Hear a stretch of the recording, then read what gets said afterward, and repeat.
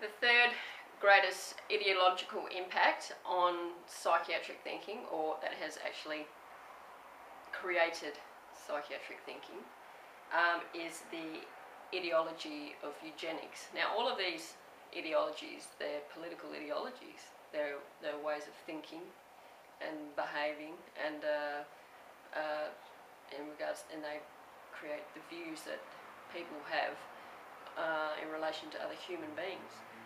And this segment is uh, looking at the practice of eugenics, uh, which has an enormous uh, impact in shaping the thinking of psychiatry. Um, in particular, it led to the sterilisation movement, which is um, a feature that is currently being promoted in writing in the draft Mental Health Bill of 2011 in Western Australia, pages 135 and 136 of that bill. So that's the seriousness of this problem, that the, the ideology of eugenics has shaped historically um, the sterilisation movement, and that's where that thinking comes from in, um, in uh, actually having it in a draft bill for legislation. Pulses through the skull to interrupt brain activity and shooting high voltage through surgically implanted electrodes, all to stifle problem behavior and costing up to $100,000 per patient. And while this science without a soul led to behavior modification techniques that continue to generate billions in research and treatment, it also laid the groundwork for another psychiatric movement that would cause the deaths of millions.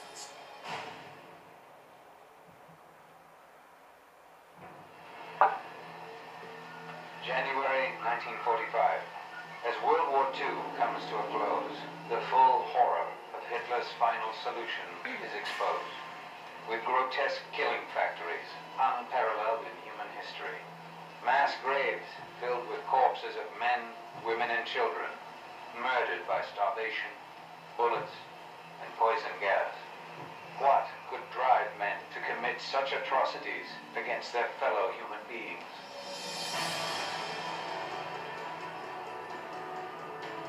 Answer is the pseudoscience called eugenics, created and promoted by psychiatrists decades before the Nazis came to power.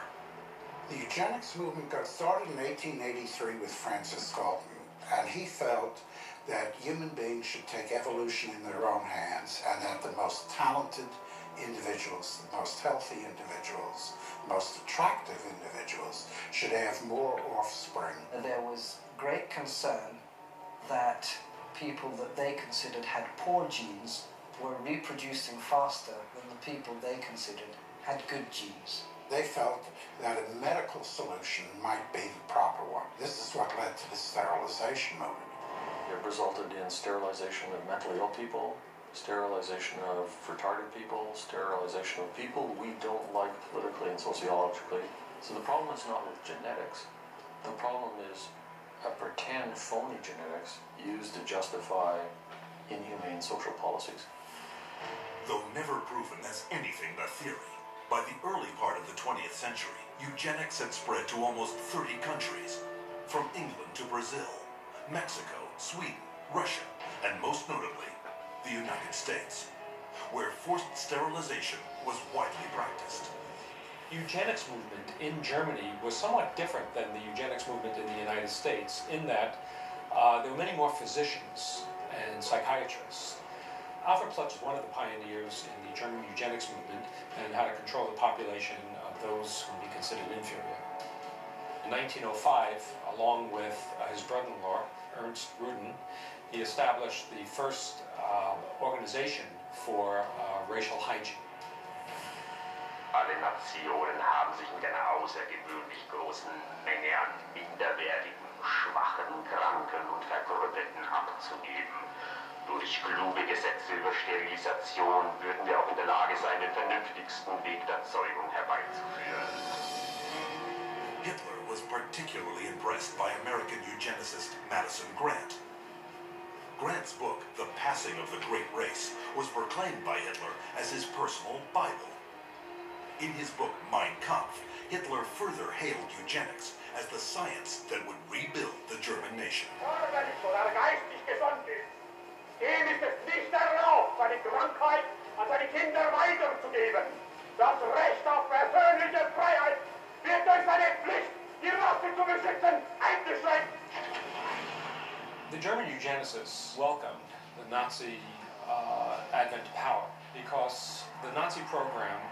could fund the very programs that they had in mind. The Nazis gave them political support, financial support, and uh, conversely, the psychiatrists gave the Nazis a medical justification for uh, their uh, genocidal policies. Something like 40% of German psychiatrists had joined the SS by 1933. They weren't forced into the SS, they just joined it naturally because the, because the beliefs were very, very similar.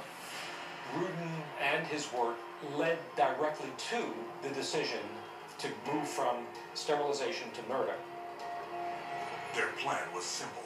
First, convince the public that feeble-minded undesirables wanted to escape the burden of their existence, but could not say it, and that killing them was an act of mercy. Then extend the definition of inferior to include Jehovah's Witnesses, Jews, gypsies, homosexuals, all unworthy of life. Psychiatrists produced propaganda movies known as the Nazi killing films, shown in all 5,300 theaters throughout Germany.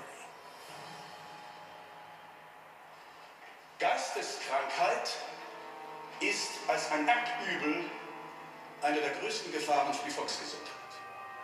Irrtum ist, dass sich solche Kranken glücklich fühlen und am Leben hängen. Sie haben überhaupt kein Daseinsbewusstsein. Wer von ihr befallen wird, dem ist die schwerste Last des Schicksals auferlegt. Ein Dasein ohne Leben. It first started with passive violence, which is starvation. It then intensified to lethal injections, and finally it developed into systematic gassing and cremation. Their headquarters were established in Berlin under the infamous code name T4. T4 program was named after Tiergarten 4, which essentially uh, resulted over a period of time in the murder of about 70,000 people who were deemed mentally retarded, emotionally distraught, or physically handicapped by the Germans. They were called life unworthy of living. The killing, piloted in psychiatric institutions across Germany, then moved into the concentration camps, with top German psychiatrists as the executioners. Paul Nitsche, the T4 director, declared, Das Aussortieren in den Konzentrationslagern geht aber genauso ab wie in den Nervenheilanstalten.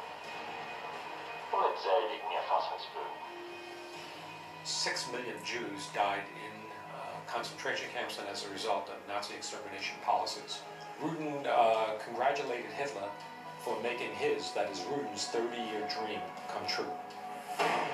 After the Nazi surrender, an international court of justice was held to put psychiatry on trial for its war crimes. But American psychiatrists, fearing a permanent blow to the future of psychiatry, stepped in by shifting the blame onto a handful of German psychiatrists. There were some doctors who were uh, prosecuted, uh, but very few. Ernst Rudin uh, returned to Switzerland at the end of the war.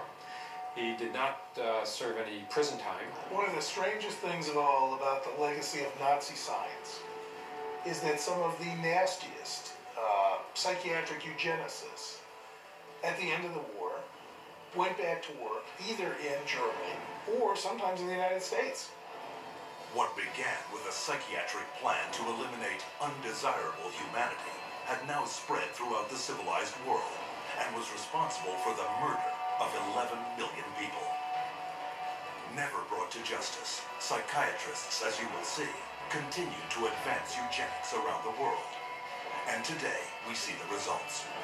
In racism, human misery, and unending social conflict.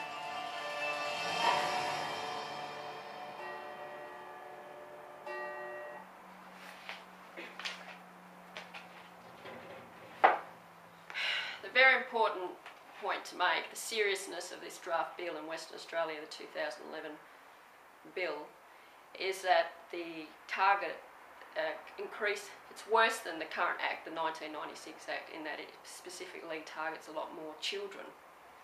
Uh, the psychosurgery, electric shock, and the drugging of children with chemical compounds, and uh, particularly the sterilisation of children. So it's a very serious problem that this they have they are proposing in a draft bill, and they should be arrested and prosecuted for even proposing such uh, horrific crimes against children. The other thing I wanted to mention at this point is that um, there are nurses that are in Western Australia that are testifying. In particular, one very experienced nurse has told me that in the hospitals now in Western Australia, that um, what happens is the case manager goes and sees people that are trapped under psychiatric practice, because that's what it is. They are trapped and then if the person doesn't want to see them, they then get the police to forcibly go into their home, remove them from their home, take them to the psych unit of a hospital where they are drugging them to the point that they are passing out. So they drug them with chemical compounds until they become unconscious. This is in Western Australian hospitals. Then they are putting an air tube into their nose to keep them alive. So they've, they've drugged them with chemical compounds till they've knocked out. They've forcibly got the police to take them from their home, drag them into a psychiatric unit, uh, drug them till they're unconscious, and then they um, keep them alive with a tube, and then they're transporting them to Graylands. Now, you tell me, is that health practice? That is not health practice. That is very evil to do that to people, and it is it is criminal. So they are doing things to people, and they get the police. They use the police to do it. It's all about force and control and um, controlling people's lives. And then who knows how many people are dead? How many have they murdered in that hospital and other hospitals around the place? This is a very serious problem. We need to stop it, their practice, and we need to. It needs to be abolished. The current Act, 1996 Act, needs to be repealed and the practice of psychiatry needs to be stopped and it needs to be abolished because this has been going on for over 200 years.